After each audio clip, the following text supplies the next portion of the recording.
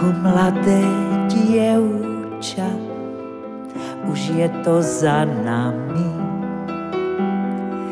Po stromoch som liezla s našimi chlapcami. A vždy, keď na strome zlomili halúsku, hádzali mi chlapci čerešne za blúzku. Keď boli zvedaví, čo to mám pod blúzkou, odháňala som ich zelenou halúskou.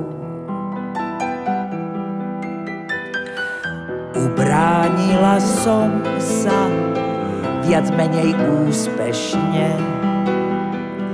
Nikto nesmel siahnuť na moje čerešne.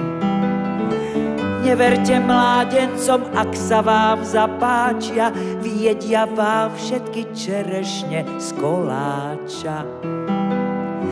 Chlapci neublížia, kým hľadia zo stromu, keď zoskočia dolu, čakajte pohromu. Keď sa na vás chlapec zadíva uprene,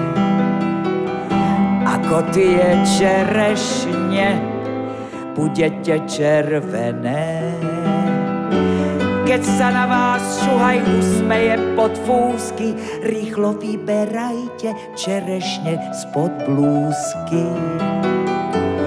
Čerešne sú zrelé a blúzka priúzka už vám nepomôže zlomená halúska.